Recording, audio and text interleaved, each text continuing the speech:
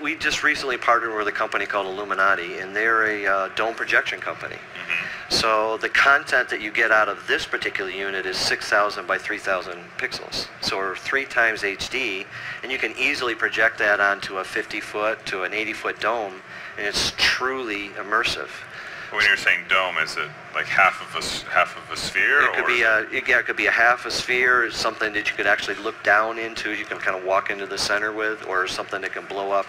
Um, it's just incredible the type of experiences you can get with that. Wow.